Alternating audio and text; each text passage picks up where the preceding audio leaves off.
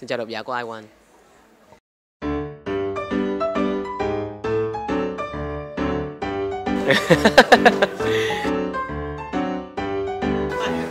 anh không thấy bộ phận nào đẹp trên cơ thể mình cả.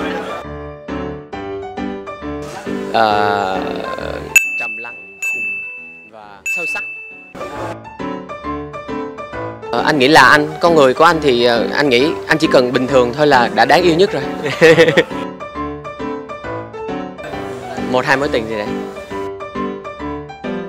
Một nghề nghiệp thì chắc là ờ, ờ, một nhân viên ở một văn phòng còn một ước mơ thì dĩ nhiên là mình sẽ ước mơ làm dĩ nhiên là giám đốc.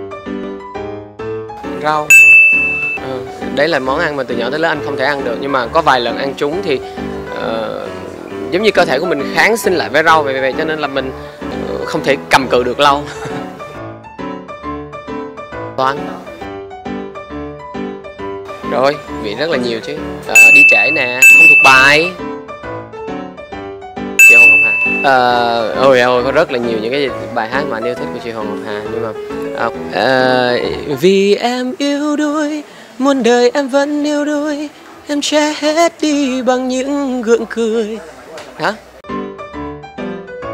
Xe của anh chỉ có 500 ngàn. Đi hát anh đưa thả cho mẹ anh luôn hình như có vẻ là mình chả sợ hành động nào cả. Ừ anh rất là yêu quý fan của mình. Món quà đặc giá nhất đó là một nụ cười một nụ cười của một người mà trong một sự hiểu lầm với mình rất là lâu. Một người bạn của mình và có một sự hiểu lầm cùng với người đó. Và mãi đến vài năm sau thì uh, khi gặp lại người đó bỗng mình gặp lại một mình bắt lại bắt gặp lại được nụ cười của người đó trong một cái show diễn của mình. Ừ.